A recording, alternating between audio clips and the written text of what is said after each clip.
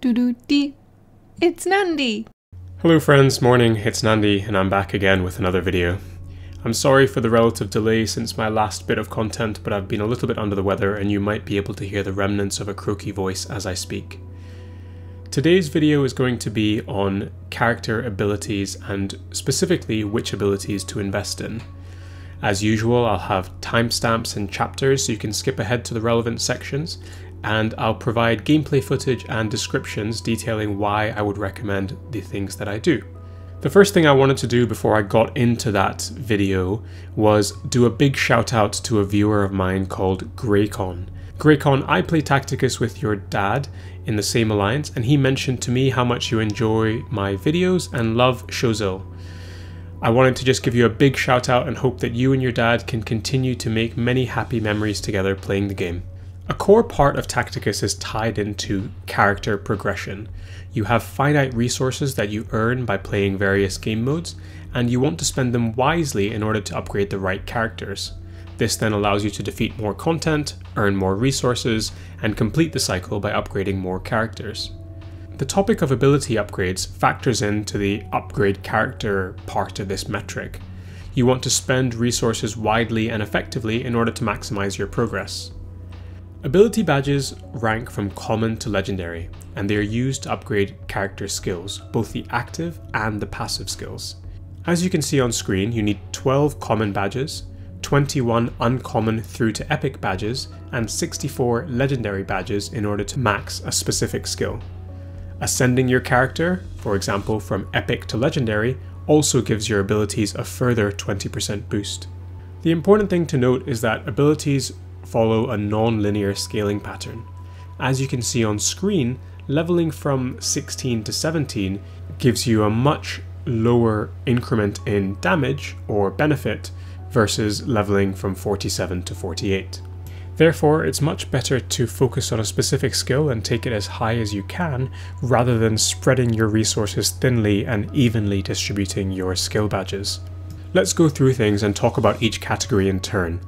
I've broken down my recommendations into two categories a sort of main priority, which I believe you should focus on and you will get high yield from throughout the game, and then the sort of secondary priority where you can spend badges if you have extra resources, but they're not necessarily the top, top choices.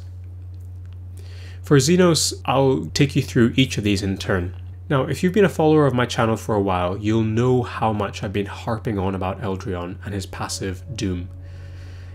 Eldryon is the most powerful character in the game for guild raids, and we know that guild raids are very much considered endgame content. They reward more resources than any other game mode, and particularly are a resource for character orbs, which are currently a big bottleneck in the game. Doom makes Eldryon the most valuable raid character in the game, and I think by extension, the most valuable character overall. Sync your badges in here if you want to make good progress.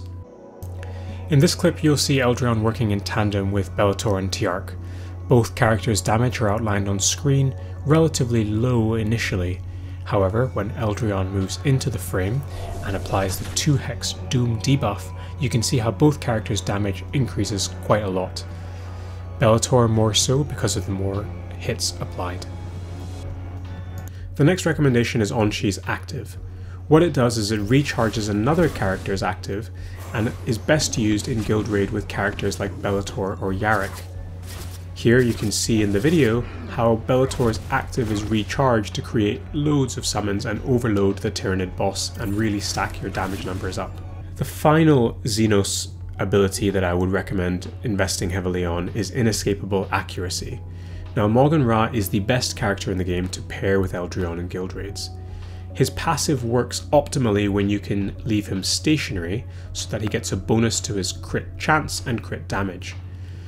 Initially, it can be a little bit tricky to learn optimal positioning, but once you have experience with the bosses and their movements, you can often stick Morgan Ra on one hex for the majority of the battle and really see his damage output skyrocket. Morgan Ra is returning for his final run of his legendary release event later on this month, and I'd recommend checking out my YouTube channel for my other video which gives you some tips and tricks to unlock him. We now move on to the secondary priorities for the Xenos factions. Aunshi's passive is Serene Unifier. That describes a rotating aura that gives different benefits on each turn of gameplay. Now you're already bringing Aunshi to Guild Raid for his active, so I'd recommend building up his passive at least a little bit so that you get some secondary value, particularly from the aspect of his rotating aura that gives bonus damage to surrounding allies. The next Xenos character that I would recommend building is Aethana's passive, Path of Command. As I've spoken about in the past, a key to success in guild raids is using a combination of characters that have multiple hits, as well as characters that do bonus damage through their passives, and Aethana is a good example of that. Her passive gives bonus damage as well as bonus crit chance to affected allies, and is therefore a good damage buff option that is relatively easy to acquire. In this clip you can see Morgan Ra and Eldryon facing off against Ghazghkull. Morgan Ra shapes up to do around 6000 damage. However, as Aethana moves into the frame, you can see that she's now applying her passive aura Path of Command to units within 2 hexes, Morgan Ra's damage has accordingly skyrocketed to 10,500. The final Xenos ability that I would recommend building up is Aleph Null's Active. Now Aleph Null has a unique swarm mechanic that allows it to survive against Mortarion's aura. As you'll see in the video, despite Mortarion's aura destroying most things in melee, because swarms require multiple hits, they're actually one of the few things that can survive and potentially lock Mortarion in place. In addition, Aleph Null is an all-star in the Necron campaign. Sticking points into Aleph's active is going to give you good output in that section of the game as well. We then move on to the middle child in the game at the moment, the Chaos factions. At the moment, I wouldn't recommend building any of the Chaos characters with a particularly high focus, as I don't think any of them have really, really good value in guild raids. Now that might change in the future, but as I've spoken about already, I think you should maximize resources and focus on characters that are going to give you yield in guild raids because that's where you're going to see the most value for money. In terms of secondary priorities, so these are characters that you can stick some badges in but don't go crazy, we can look at Archimatos and Volk. Archie's active and passive allow summoned bloodletters to help you progress through the Chaos campaign, and they have some use in Guild Raid, particularly against the Psyker bosses.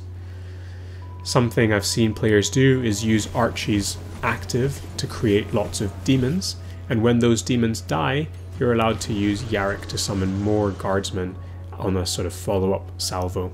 The same principles for campaign progression apply to Volk's passive. He can be a big damage dealer and have some utility in guild raids due to his multi-hit ranged attack.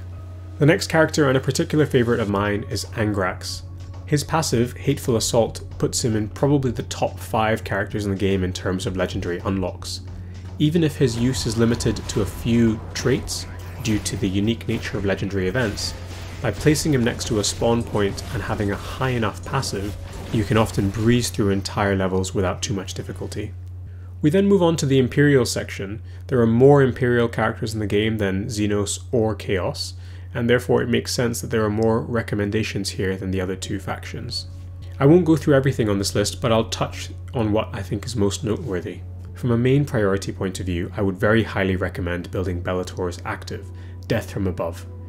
Each summoned interceptor has 6 hits, making him among the best characters in the game to take advantage of other damage boosting effects, such as Eldryon or Calgar or Aethana.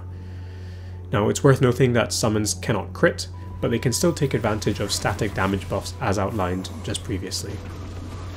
Bellator also works very well with Aunshi and a double active timed well can really get out of control very quickly and allow you to pin certain bosses in place, such as the Tyranid bosses. This then has knock-on effects on characters like Morgan Ra, who then no longer need to move and can maximize their passive abilities. The next character for the Imperial section is Calgar. Calgar's passive Rites of Battle is possibly the second best damage boosting effect in the game after Eldryon. The two work in tandem with one another, and Calgar works particularly well with Imperials, such as the popular Bellator, who is already a fantastic choice for guild raids. On to the secondary recommendations. Top of the list is probably Calgar's active, Gauntlets of Ultramar. Now, if you're bringing Calgar for his passive bonus, which you should do if you have him unlocked, then you might as well use his powerful active. Every boss in the game summons minions in some capacity, and therefore having a high level active allows you to clear through those minions essentially in one turn, letting the rest of your characters remain focused on the guild boss. The next recommendation is Roswitha's active, Brazier of Holy Fire. Now, this active is the most powerful skill against Mortarion, who's the newest and hardest guild raid boss. At level 46, it adds a 20% damage boost for two turns to your team, and is therefore particularly useful against this lethal raid boss. This next secondary recommendation talks about both Helbrecht and Roswitha's passive. Both cause them to deal bonus damage against Psyker targets, which make them specifically useful against the Tyranid Guild Raid boss. Now it's worth noting that Helbrecht's passive only applies to his damage in melee, whereas Roswitha's passive applies to both her melee and ranged attacks. The distinction here means that Roswitha can also be used against Mortarion, whereas Helbrecht tends not to be as useful due to the lethal nature of Mortarion's damage aura to melee attackers. We can talk about Thaddeus Noble's passive ability, Spotter, next. Thaddeus already does the most range damage in the game against endgame legendary bosses, who we know have roughly 600 armor after their primes have been defeated. It's therefore a no-brainer to invest in Thaddeus's passive, which synergizes extremely well with Morgan Ra, who's another automatic inclusion in endgame raid content. In this clip you can see how Morgan Ra's damage is initially 3600, but once Thaddeus repositions to apply his bonus aura, Morgan Ra's damage jumps to 9500. Isabella's passive Medicus Ministorum is a nod to Isabella's usefulness in legendary events. A popular strategy using Isabella is to turtle her in one corner of the map and then surround her with tankier allies so that her passive automatically heals them and you're able to grind through waves and waves of enemies. Next up is Ulf's passive, Savage Killer. Now Ulf is possibly the best character in the game against Carudius Prime, one of the lieutenants for the Mortarion Guild Raid boss. His passive chops away at the summoned enemies before they're able to attack, and having a high level Ulf will allow you to make huge sense in this boss and his prime. The final Imperial ability that I wanted to touch on is Celestine's passive Gemini Superior. Celestine is the strongest PvP character in the game due to this unique passive ability that allows her to be protected from direct damage for the initial attacks. It single-handedly negates Overwatch and provides her with incredible mobility across the map, due to her resilience. There you are, a short list of characters for whom I believe you should prioritize their skills in order to make efficient progress in the game. Thanks for watching and I'm sorry the video was over my usual 10 minute target. If you've enjoyed the video and would like to continue to support me and my content, I'd appreciate if you used my refer a friend code on screen. It earns you 100 Blackstone and supports me and allows me to continue doing the work I do. Finally, if you'd like to join a new guild or a cluster of active and engaged players, please reach out to us in Pants of Horus. We've recently made the big step of expanding our cluster to a 20th guild, and we'd love to have you on board in our fun and friendly community. That's all for now, folks. Thanks, bye. Doo doo dee. It's Nandi.